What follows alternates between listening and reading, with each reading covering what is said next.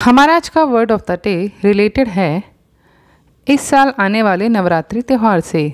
तो चलिए अब जानते हैं हमारा आज का वर्ड ऑफ़ द डे क्या है। प्रोस्क्राइब प्रोस्क्राइब को हम हिंदी में मना करना कहते हैं। इंग्लिश में हम इस वर्ड को वर्ब तो वहीं हिंदी में क्रिया की तरह यूज़ कर सकते हैं। चलिए अब जल्दी से जानते हैं इंग्लिश में प्रोस्क्राइब का मीनिंग क्या है।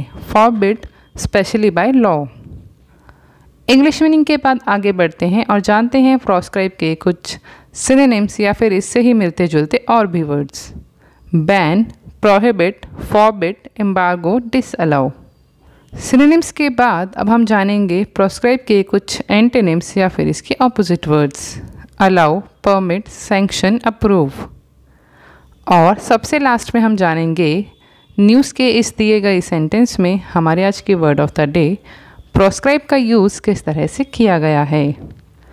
Gujarat government has proscribe organising all garbas in public during the ensuing Navratri this year Gujarat सरकार ने इस साल आने वाले नवरात्रि के दौरान सभी गरबों को सार्वजनिक रूप से आयोजित करने के लिए मना किया है।